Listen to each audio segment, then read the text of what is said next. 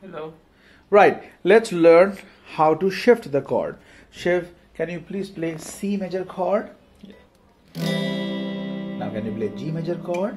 So now I would like you to play C and G once each, very slowly. Three, go.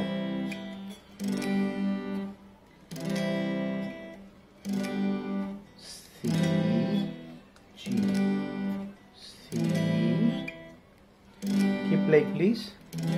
See how he's changing it together. Now stop for a sec. Play C. Now when you change to G, don't change it together. Do it one by one like you used to do earlier. Change G.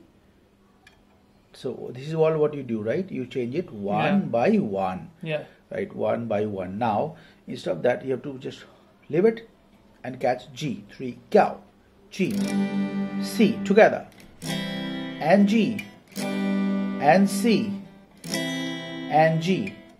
So the exercise is that you need to play it very very slowly of course.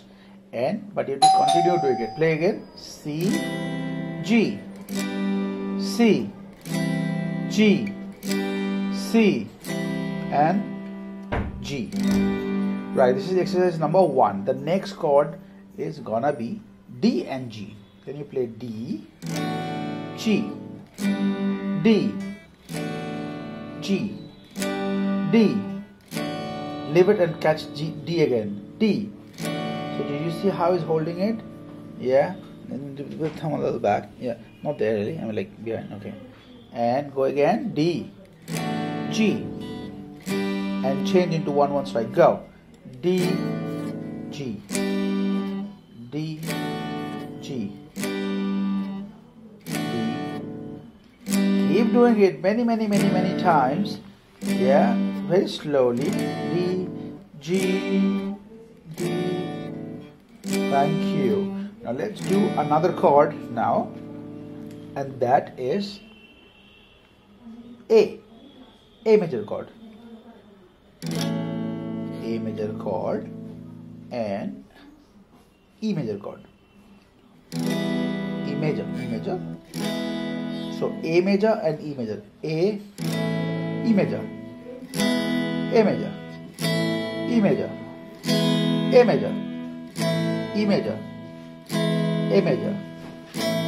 Now many of you hold the A major chord little differently the, with these three, right?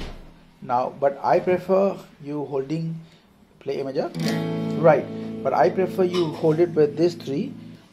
Why because after a major if you want to play a sharp or b flat major chord shift forward and put the b flat go one forward B major one forward c major one forward c sharp major one forward what is this D major. D major and it goes on. Come back to the A.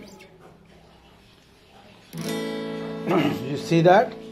And the same way, when you catch A minor chord, can you catch A minor chord? That's the way you catch A minor chord, right? 2, 3 and 1. But I prefer you hold it with this 3.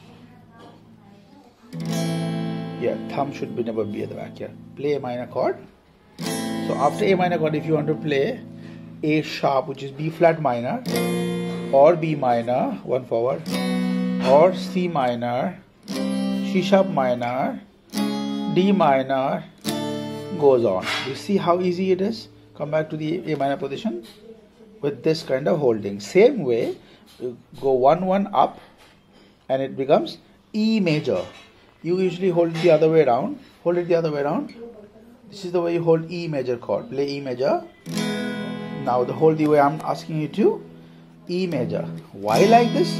Then you go forward and put first finger F.